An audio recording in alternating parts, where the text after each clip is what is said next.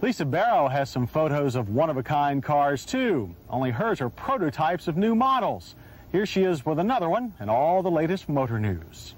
Lisa. Thanks, John.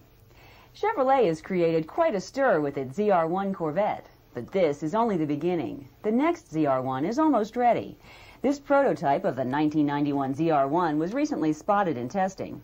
Like the current model, it's powered by the 32-valve LT5 V8 engine, but extensive development work has boosted horsepower to the ZR1's original target level of 400.